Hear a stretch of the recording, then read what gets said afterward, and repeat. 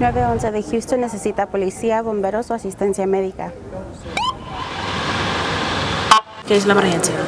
Estoy feliz para la oportunidad porque hay varios trabajos que puedo hacer ahorita, pero no hay exactamente un trabajo por eso que puedo hacer como trabajando en línea con los bomberos, con los oficiales que ayuda a la ciudad, pero también los ciudadanos.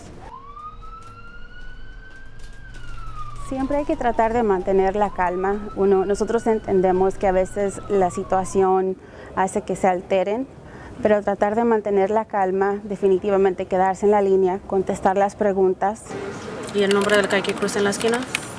Dirección. ¿Qué es la dirección de la casa? ¿Qué es el nombre de la calle en la esquina que cruzan actualmente con tu calle? Eh, muchas veces dice, pues, el nombre de la calle grande, pues, pero necesitamos conocer posiblemente el nombre de la calle chiquita la calle que está en la esquina con tu calle. Esa son la información que ya necesitamos. Y también como el nombre de los apartamentos, si vive en un complejo, cómo se llaman los apartamentos. Tiene sus momentos que es, muy estresante, especialmente cuando tienes esas llamadas difíciles.